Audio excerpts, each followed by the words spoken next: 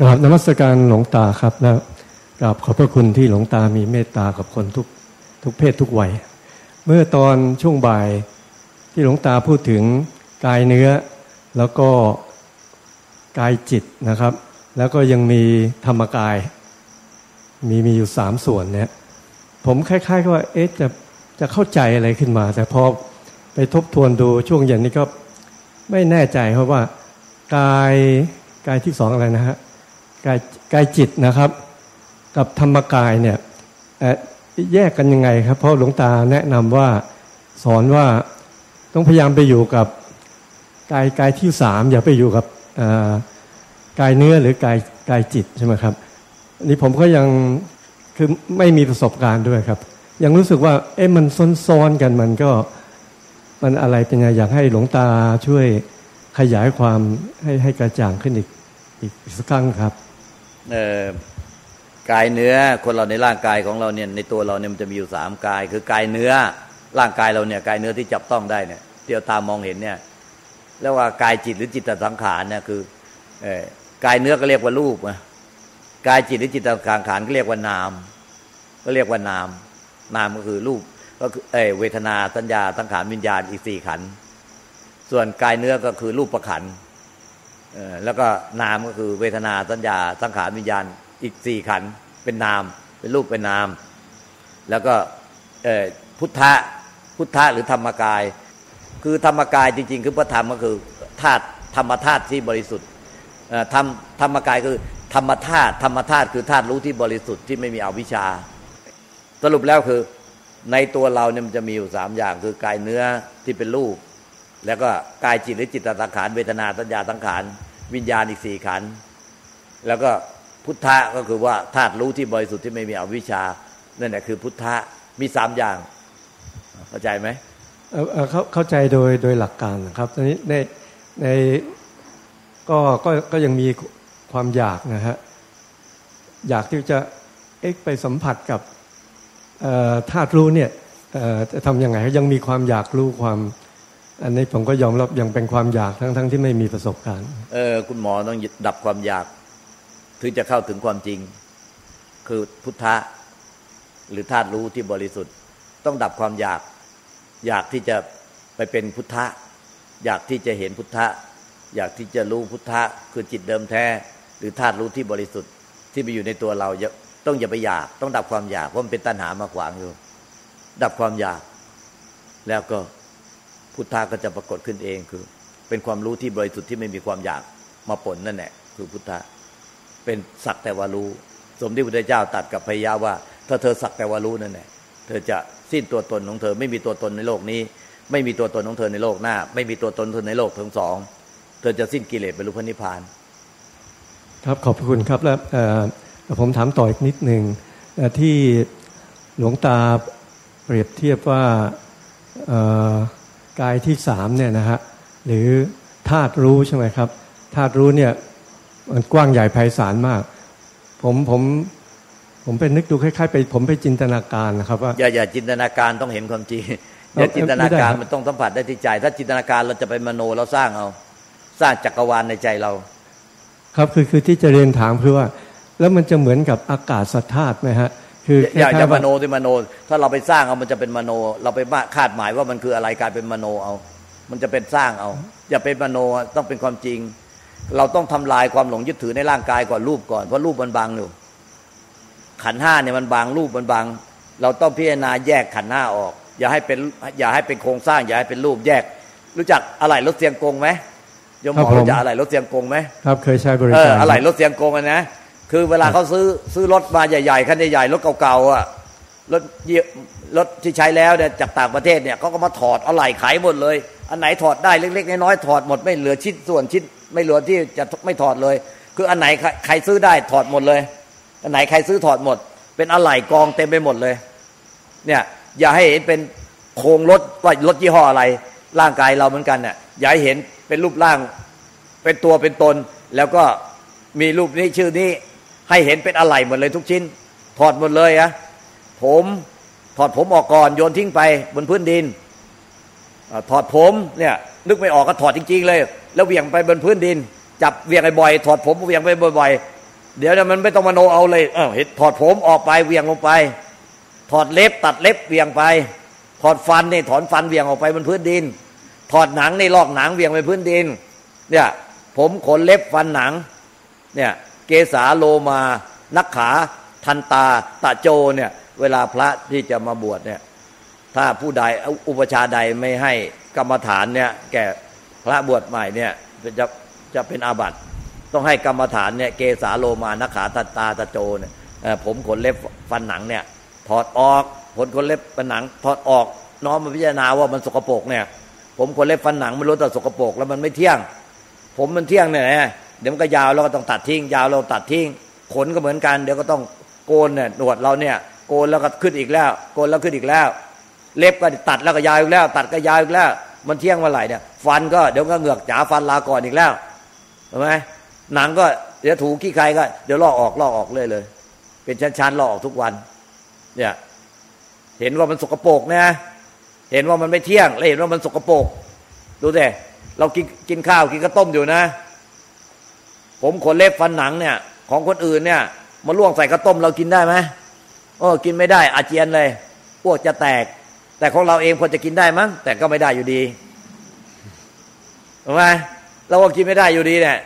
เห็นผมมาล่วงใส่กระต้มนี่มันกินได้ไหมเมื่อกินไม่ได้ อีกใครจะยอมกินผมก็ไป เนี่ย ขน เห็นขนมาตกอยู่ในกระต้มเอามันจะกินได้ไหมขนเราเองกินไม่ได้เลย อย่าไปขนคนอื่นยิ่งหนักใหญ่เลย เล็บ มาตกใส่กระต้ม ฟันเนี่ย ฟันใครหลุดมาใส่ในในกระต้มในส่วนกระต้มเราหวาเนี่ยหนัง เอ้าหนังใครมามาลอกใส่ในลอกเป็นแผ่นๆมาใส่ในกระต้มเราวะเนี่ย เนี่ยกินไม่ได้หรอกมันสกปรกกินก็มันจะอ้วกตายเห็นไหมมันสกปรกมันไม่เที่ยงพี่นาเข้าพี่นาเข้าอย่างเงี้ยเห็นมันสกปรกมันไม่เที่ยง แล้วก็ถอดมันทิ้งไปเออถอดไปเรื่อย ผมขนเล็บฟันหนังเนื้อเอ็นกระดูกตับไตไส้น้อยไส้ใหญ่ม้ามตับปอดหัวใจ จับมันโยนทิ้งไปโยนทิ้งไปโยนทิ้งไป ไปที่กองพื้นดินจนกระทั่งไอ้โครงกระดูกนี่นะเนี่ยพุทธเจ้าตรัสว่าถอดออกได้ถึงสามร้อยท่อนนะกระดูกเนี่ยพิจารณาแยกออกมาเลยกระดูกอะกระดูกร่างโครงร่างร่างกายเราเนี่ยแยกออกเป็นสามร้อยท่อน แยกออกมาอะไรรถเสียงโกงอย่าให้มันรวมเป็นตัว แยกออกหมดเลยกระดูกก็ถอดออกไปกระดูกสามร้อยท่อนถอดแล้วถอดอีกถอดแล้วถอดอีกถอดแล้วถอดอีกเออไอ้ธาตุน้ำน้ำเลือดน้ำเหลืองน้ำลายน้ำปัสสาวะก็มันไหลออกไป ธาตุลมหายใจก็เลยให้มันไหลออกไปธาตุไฟก็มันไหลออกไปให้เห็นเป็นธาตุอย่าให้มันเป็นร่างคนให้เห็นเป็นธาตุให้หมด ดินน้ำลมไฟอากาศให้มันเป็นธาตุให้หมด ให้เห็นเป็นสองเป็นของสกปรกให้เห็นมันตายต้องแก่ต้องเจ็บต้องตายเน่าเปื่อยผุพังสลายไป พิจารณาความจริงอย่าไปมโนเอา พิจารณาตรงเนี้ยความแก่ความเจ็บความตายผุพังสลาย ถ้าเรามองไม่ออกก็ไปนึกเนี่ยเพราะแม่ปู่ย่าตายายเนี่ยแต่ละคนตายแล้วมีสภาพเป็นไงไปเผามา เราก็มานึกน้อมว่าตัวเราที่สุดก็ต้องเป็นอย่างเงี้ย ลูกหลานเราก็ต่อไปข้างหน้าก็ต้องเป็นอย่างเราก็ต้องเป็นอย่างเงี้ย ทุกคนก็ตายแล้วต้องมีสภาพเน่าอย่างเงี้ยต้องไปเผาแล้วเป็นขี้เท่าทุลีอย่างเงี้ย เอาไปฝังก็ฝังไปนานๆไปกระดูกก็ไปเป็นเป็นดินผุพังสลายเป็นดินไปหมดที่เราไปพบโครงกระดูกที่ฝังตามไปที่เขาขุดมาในดินเนี่ยก็สลายไปเป็นดินไปหมดเราก็น้อมพิจารณาอย่างนี้เนี่ยซ้ำซ้ำซ้ำซ้ำร้อยครั้งพันครั้งหมื่นครั้งแสนครั้งล้านครั้งพิจารณาอย่างต่อเนื่องไม่ขาดสายนะ ใหม่ๆมันก็พิจารณายังน้อพิจารณาไม่ออกหรอก พิจารณาความจริงอย่างเงี้ย แต่มันเป็นความจริงที่มันหนีความจริงไม่พ้น คือความแก่ความเจ็บความตายผุพังสลายกับคืนสู่ธาตุดินน้ำลมไฟอากาศธาตุตามเดิม มันเป็นความจริงสัจธรรมความจริงที่มันหนีไม่พ้น สุดท้ายมันก็ลงแก่ใจว่ามันต้องเป็นอย่างนี้แน่นอนไม่อาจเป็นอย่างอื่นได้พอมันเริ่มลงแก่ใจแค่นั้นแหละมันเริ่มไหลเลยล่ะไหลคือทำเนี่ยทำที่เป็นสัจธรรมความจริงนะมันไหลในใจเลยแล้วมัน มันมันทั้งรู้ทั้งเห็นทั้งรู้สึกปงไปวางไปพร้อม ๆ กันเลยปงไปวางปงไปวางปงไปวางปงไปวาง ตอนที่มันรู้มันเห็นชัดๆเนี่ย มันปงไปวางเนี่ย มันอีตอนนั้นแหละขยุกขยุกขยุกขยุกทั้งวันทั้งคืนทั้งวันทั้งคืน ต้องไม่ไปคุยกับใครเลยกินน้อยนอนน้อย พูดน้อยสำรวมอินทรีย์ตาหูจมูกลิ้นกายใจ ไม่คุกคีหมู่คณะเพียนเพียนเพียนต่อเนื่องไม่ขาดสายเลยทั้งวันทั้งคืน ไม่ช้าหรอกไม่กี่เดือนเลยอะ มันปงไปวางปงไปวางปงไปวางแล้วสักพักเนี่ยมันรู้เลยว่า บัดนี้ศึกครั้งนี้ใกล้จะแตกหนับทำลายแล้ว กิเลสทั้งหมด จะพ่ายแพ้แล้ว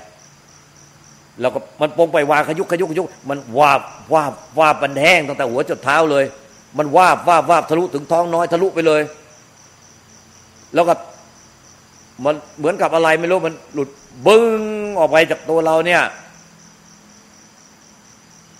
แล้วก็ ตกตะลึงเลยเหมือนกับโลกธาตุภายในภายนอกมันระเบิดออกไปหากันยังไงไม่ทราบ แล้วก็อ้าวตัวหายไปไหนวะอยู่นี่ครับ จับเนื้อจับตัวไม่มีเลยเรานั่งนั่งเก้าอี้ก็ได้ยกหมอนไปเลยอายุมากแล้วนั่งเก้าอี้ ก็เราก็ตัวมันจะหายไป ตัวมันหายไปหัวแขนขามันหายไปหมด มันไม่เหลืออะไรเลยอ้าวทำไมตัวแขนขาหายไป เดินไปทำงาน ไปทำงานก็พอจับหัวกับแขนจับขาโคตัวเองอยู่เรื่อยๆ ว่าทำไมมันไม่มีตัวไม่มีหัวไม่มีแขนไม่มีขามันหายไปไหนวะแต่พอมือจับก็มี แต่พอไม่จับมันหายไปหมดเลยไม่มีตัว มันไม่มีตัวในความรู้สึก มันไม่มีตัวตนในความรู้สึกนะ ไม่มีตัวตนในความรู้สึก แต่เอามือมาจับตัวจับแขนจับขา มันก็มีขึ้นมา แต่พอไม่เอามือจับไม่มีในความรู้สึก ไม่มีตัวตน แล้วเวลาพอไม่ชั่งกิโลไม่มีน้ำหนัก ไม่มีเหมือนเป็นคนไม่มีน้ำหนักเหมือนเป็นอากาศไปไหนเหมือนเป็นอากาศลอยไป แต่พอไปชั่งกิโลก็มีน้ำหนัก ตอนเนี้ยไอ้รูปเนี่ย ที่มาบังจิตเดิมแท้ที่มาบังพุทธะเนี่ยจิตเดิมแท้ที่เป็นพุทธะเนี่ยไอ้รูปที่มาบังมันก็หมดสภาพไป เพราะว่ามันไม่มีกายแล้วไงไม่มีตัวตนร่างกายมันหายไปแล้ว คือเนี่ยกายที่หนึ่งคือกายเนื้อเนี่ยหายแล้ว เหลือกายที่สองคือเนี่ยตอนแรกก็คือร่างกาย อันที่สองก็คือกายจิตหรือจิตตสังขาร คือเวทนาสัญญาสังขารวิญญาณอีกอีกสี่นามเนี่ย เวทนาสัญญาสังขารวิญญาณเนี่ยที่เป็นนามที่ว่าไปรับรู้ปุ๊บมันจะต้องมีวิญญาณขันเนี่ยไปรับรู้ปุ๊บมีเจตสิกเวทนาสัญญาสังขารอีกสามขันเข้าประกอบวิญญาณขันทุกดวง แล้วก็เกิดเป็นจิตขึ้นมาอ้าวพอนี้พอมันว่างเปล่าแล้ว ไม่มีตัวตนแล้วเป็นความว่างแล้ว เหลือแต่กายจิตหรือจิตสังขารเนี่ยที่มันขวางมันขวางทำไว้ขวางจิตที่เป็นพุทธะที่เป็นธาตุรู้แท้ๆที่ไม่เกิดไม่ดับเนี่ยมันก็จะเห็นเนี่ย จิตเนี่ยพอไม่มีกายขวางแล้วมันก็เห็นในจิตที่เป็นความรู้สึกนึกคิดอารมณ์ทุกปัจจุบันขณะเนี่ยมันเกิดขึ้นและดับไปเหมือนแสงหิ่งห้อย มันเกิดขึ้นในอากาศและดับไปเหมือนแสงหิ่งห้อย เกิดขึ้นตั้งอยู่ดับไป เกิดขึ้นตั้งอยู่ดับไป เกิดขึ้นตั้งอยู่ดับไปเหมือนแสงหิ่งห้อย หรือเหมือนพลุที่เขายิงดอกไม้ไฟวันเฉลิมพระชนมพรรษาเนี่ยปุ้งขึ้นมาแล้วก็แตกเป็นดาวกระจายแล้วก็ดับไป จิตแต่ละดวงเนี่ยมันเกิดขึ้นเหมือนพลุที่เขายิงบนท้องฟ้าปุ้งขึ้นมา แล้วก็เกิดขึ้นแล้วก็ตั้งอยู่แล้วดับไป ทำก็จะปรากฏว่าการที่เห็นหน้าเกิดขึ้นตั้งอยู่และดับไปยังหยาบอยู่เพราะต้องเห็นสามหน้า ให้เห็นว่าจิตทุกดวงที่เกิดขึ้นนั้นมีแต่ดับไป ดับไป ดับไป ดับไป ดับไปเสียทั้งหมดสิ้นทุกดวง มันเห็นตามไปแค่นั้นเนี่ยจิตไม่เที่ยง จิตไม่เที่ยง จิตไม่เที่ยงนั้นแน่มันเหมือนไอ้ข้างในมันระเบิดออกไปอีกครั้งหนึ่งอะอันนี้มันรุนแรงกว่าครั้งแรก มันตกตะลึงไปหมดเลยล่ะอันเนี้ยแล้วก็ไม่มีแล้ว ไม่มีกายแล้ว ไม่มีกายเนื้อไม่มีกายจิตมาขวาง จิตเดิมแท้ผู้รู้ธาตุรู้แหละอันเนี้ยตอนนี้ก็จะพบแล้วว่าธาตุรู้หรือผู้รู้ที่เป็นจิตเดิมแท้ หรือเป็นธาตุรู้ที่บริสุทธิ์ที่ไม่ไม่บวกผสมกับกาย ไม่บวกผสมกับจิตมันเป็นยังไง มันเป็นรู้แท้มันเป็นยังไง มันรู้ได้โดยใจของตัวเองเพราะมันเป็นรู้ซะแล้วไงมันเป็นธาตุรู้ซะเองแล้วมันต้องไปถามใครอะมันเป็นธาตุรู้แท้ๆของของตัวเองซะแล้วเนี่ย มันรู้ได้ตัวเองแล้วตัวเองเป็นธาตุรู้ซะแล้วเนี่ยแล้วจะไปถามใคร มันก็ไม่ถามใครแล้วเนี่ยเข้าใจไหมอยู่ๆไม่ใช่ว่ายังไม่ได้ ผ่านทะลุกายไม่ได้กายเนื้อไม่ได้ทะลุกายจิตอยู่ๆก็ไปสร้างมโนเอากลายเป็นรู้ที่ว่างเปล่า ว่างเปล่าบนด้านจักรวาลอันนี้มโนนะมันจะหลง